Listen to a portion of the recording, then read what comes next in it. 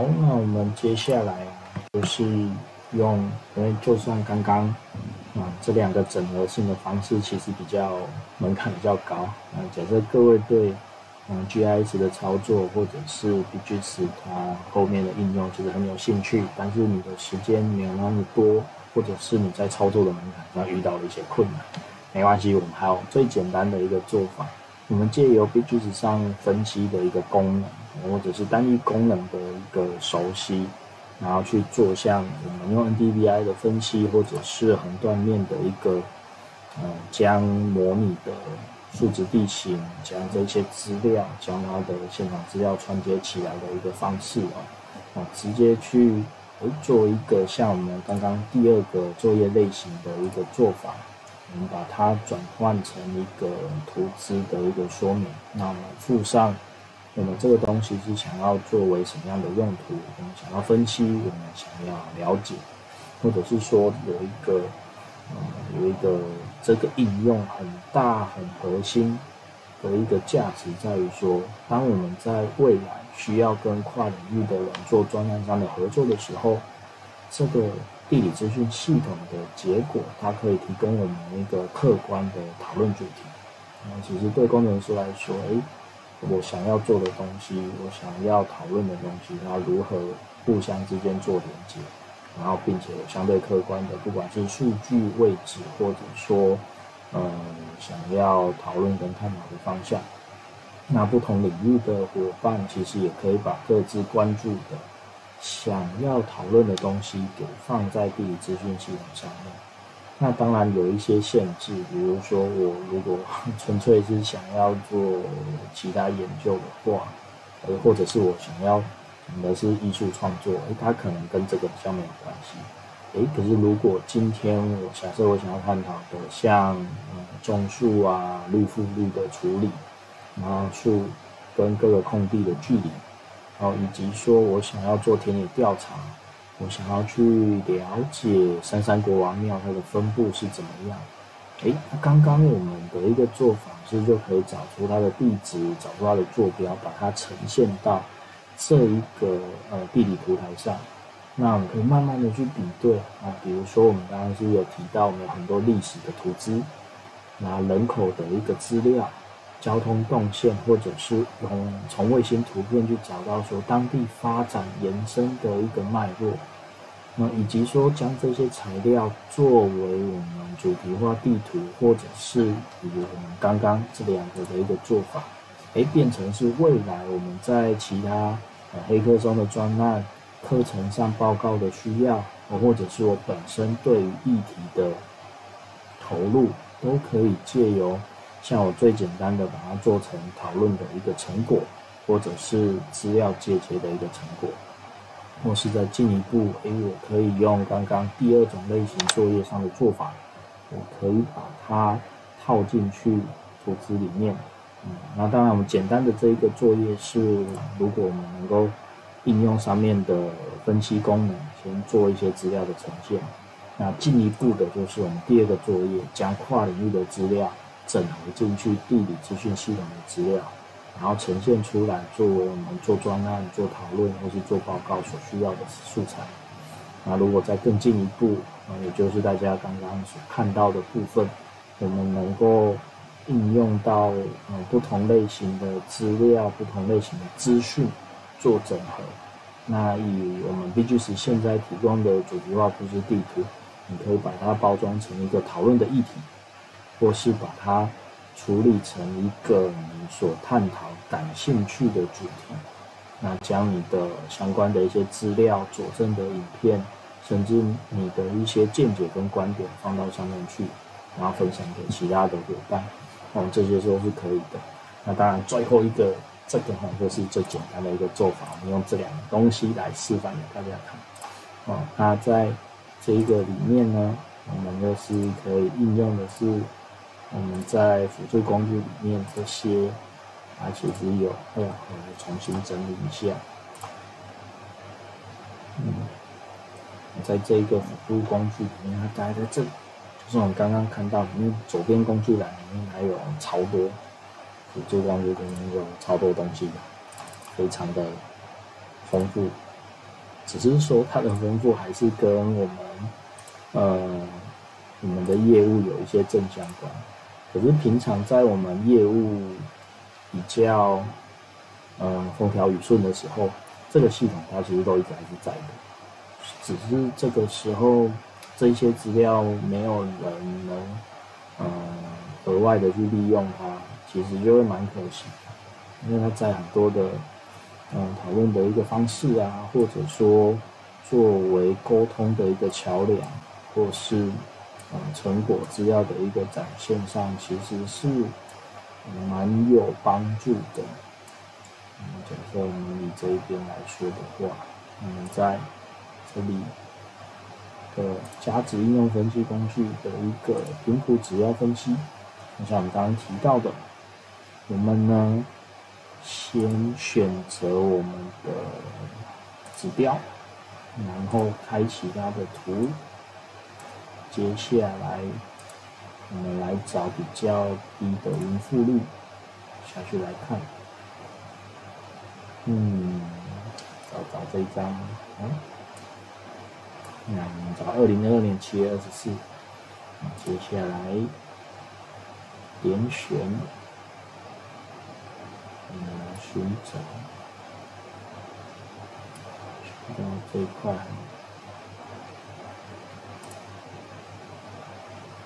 点执行。那么这边就是做出了第一张，等它系统跑一下，这边有一个小小的、有点不显眼的进度条。那我们只是等它跑完之后，我们就会有一个以神经光兔在二零二二年七月这一张做的一个 NDVI，啊，就是这一个样子。那我们可以把它下载下来，变成是一个分析的档案，然后把它打开一下，看它的一个呈现的一个效果。好，那 NDVI 的指数以及它直接可以套叠在这个啊三 D 的。呃，一个 Google 地图上，你就可以离线的去做处理。那我们再来找一个它，嗯，更早之前，二零二一，或者是我们弄到灾害之前哈，我记得应该就是下游应该是能发的烧的东西。我们来找一个匀速率低一点，这个。OK，那接下来我们一样也是维持了它的圈选范围。选择不同时期的 NDVI 也是直升指标，维持它的开启，再去做执行。接下来我们就来等这一个二零二一年五月跟我们二零二零年七月二十四这两个指标它的一个差异性。好，那它完成了。我们这个一样也打开来看一下，我们也来下载下来。然后也同时的让它直接叠上来看，好，然后两个都已经叠在一起了。这个时候，如果我们开掉一个，有差吗？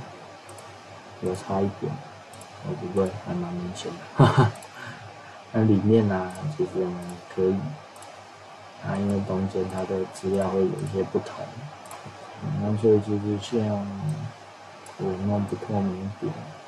其实它不能这样子卖。如果我们直接用它的，比如点开取消，其实就会发现，像它这边其实有变大的趋势，然后但是它的数值上有一些些的差异，所以这个可能需要会我们再调整一下。那你可以看到，像比较偏蓝色或者是偏绿色这一个顶部，而原本它的。在比较旧的，这个是我们的第二章，也就是去年五月的时候，那它应该整个呃稍微偏弱的地方，这边都是直升比较弱的。那在今年的部分，可以看到，哎，它的直升好像恢复了，有一些的裸露地，它其实有相关的一些植物是有恢复出来的，有接近到红色的部分。哦，所以像这两张的话，其实就可以，呃，我们以这个是二零二一年五月，我们开启图例，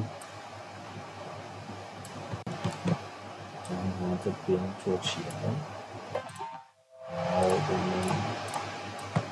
把它做成我们一个探讨的一个议题，借由这个分析的功能，嗯，再接另外一张，则是我们这一年的。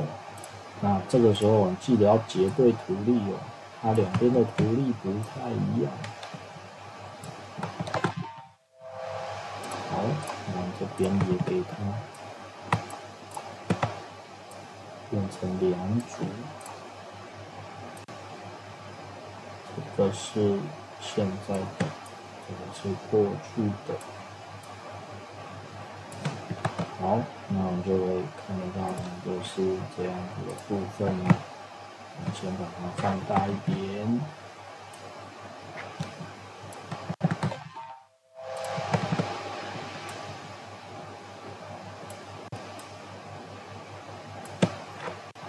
来一个框线，然后用截个图。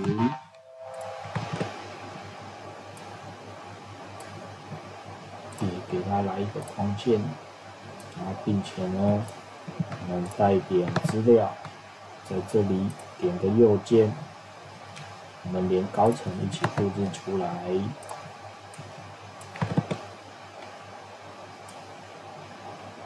啊，到这里太阳看起来不太适合，我们直接点一个坐标，放在这边做参考。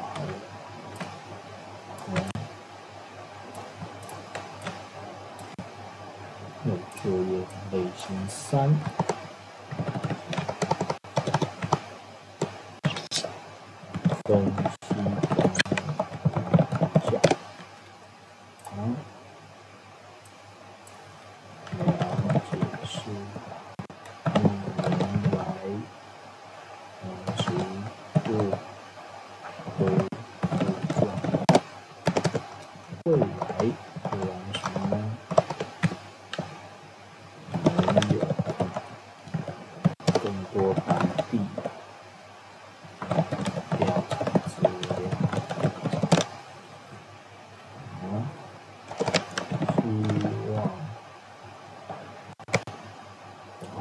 太多，嫌你这样简单的一个目的跟分析应用，哦，类似这样。当然，在排版上你可以做得更精致一点。那这样子的话，其实你就可以去直接看。诶，我们在虽然这个上面会有一些些的不同，但是你可以去看到说是它在比例上，还有它的细节上。在整个裸露或者是直身相对比较平落的状态呢，它有一些改变。那包括说这边恢复的状态也稍微好一点点。那以及在这一块的变化上好像也有比较多。那然而因为这个的。这边的变化比较多，就连续性的差距其实也有中断，那还有这边这一块，当然而在它的这一个颜色的比较基准还是有一些差异的，那这个我们也再调整一下，就是以第三个最简单的一个作业的话，就是呃欢迎各位伙伴用既有的一个分析的工具去做这样的一个呃功能的操作，还有跟概念上的呈现。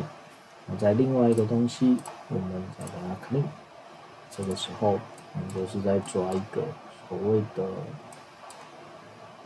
辅助工具里面，我也有一个底型的剖面，在哪里呢？中断面分析。它的这个有趣的地方在于说，我们画了一条线，我们可以各种的画。好，那接下来这个线。我们有设定一个推估的一个间隔资料，接下来我们再选说我们的版本。哦，那各位应该是不会有这个选项，或是部分的地区可能会有。那但通常这个业务上才会用得到，那各位应该不会处理到。通常会选到二十米左右，或是会有一个六米的。好，我们以这一个版本来去做执行好了，然后就会帮我们去抓这一条线它的一个嗯地形的一个剖面，嗯，就是我们已经接下来看到的这一块的地方。那在这边点的时候，你可以看到它有红色的这个点的位置有没有？好，那你可以发现，诶，它到这边会有一个坡度变缓了，然后又变陡，然后这边到底是哪里呢？你都可以看一下。那这里是不是是崩下来之后堆积成一个平台往下？或者是到这边，到这边呢就有一个转折，因为我们就勾上去了，哦，就往上又勾上去。那这个是一个呃快速的图表的呈现。然后当然，虽然这个在拉的时候也可以去把它做变大一点，但是在版面上可能就会有一点卡卡，或是在有限的版面，我们可以，然后它除了呈现它的距离，如果在这边，哎，我只呈现里面某一段的一个坡面，啊，这个也是可以的。从这边就是这样子，可以做一个。简单的分析一下，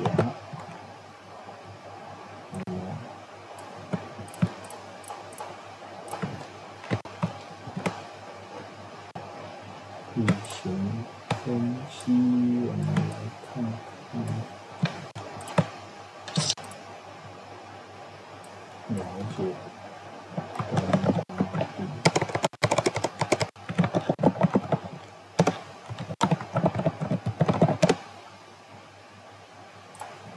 好，这样子也就可以直接做完一个了。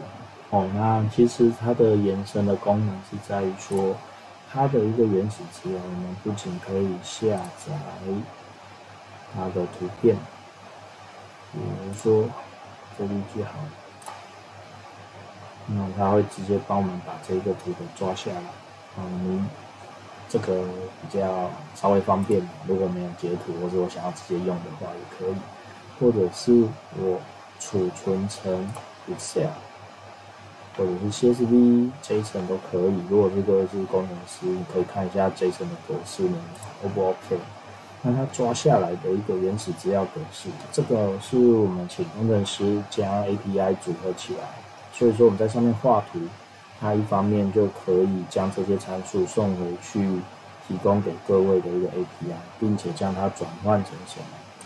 在我们水平距离从我们的原点是零，到我们最下面是十六点二八，啊，就是单位是公尺，所以一千就是一点六公里的长度，从零到底，然后每一个点推估的坐标就是每一百公尺推估一个点，这个时候你就可以算出这个点上面，我们将它所有的坐标一致打上去，这个坐标的 x y z。也就是这个零的点，我们再把它拉到最开，这边就是零，那这里就是一百公尺。哎呀，发生了什么事情？哎呀，它好像突然会掉，哈哈，啊，满机啊，瞬间 Java 好像有点爆炸了。嗯，所以说每一百公尺推估一个点位，那就把那个点位的高层跟对应的 x 跟 y 坐标给整理出来。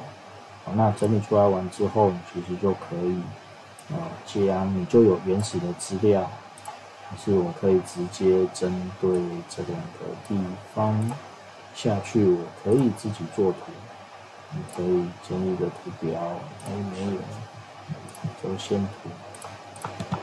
因为选取的关系，可以啊，高层高度，我来想想，这个时候，哎，等等，哎呀，它的高是不是？嗯。正常应该是这两行可以吧，不是吼？哎呀，啊不对，这个复制的时候，有没有看到这个三角的小点？它要转成，记得是要转成数字。等一下，对，数字贴上，贴上的时候直接转成值，值也不行啊？为什么？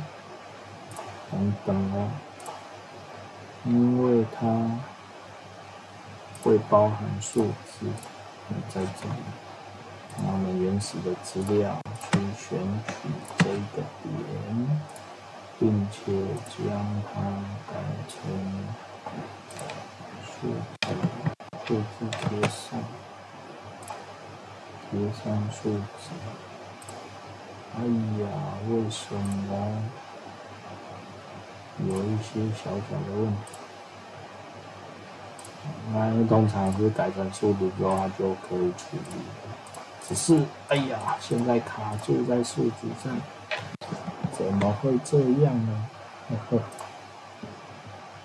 有时候也是会卡在一些小小的地方上。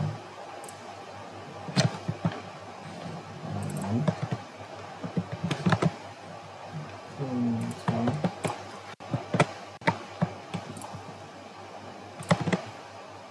好，接下来先列图表。有时候我就是转换不起来，我也不知道为什么，用一些比较土炮的方式。好，那其实以折线图，单一折线图好了。哎呀，多重折线图啊，它可能用成散布图，没关系。好，那用这样子的话，你其实就可以能够算出它的这个情况。好，那因为这个东西呢，其实会影响到有一个垂直轴的间距。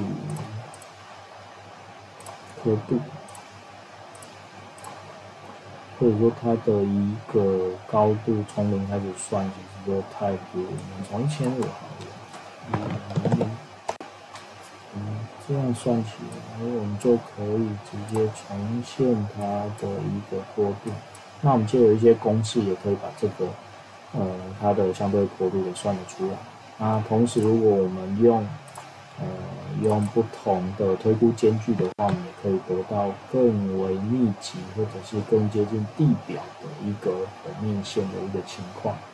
好，那所以说这个就是第三个比较简单类型的作业，或者说是借由让大家去操作，嗯，在呃 B G S 上面它的一个分析功能。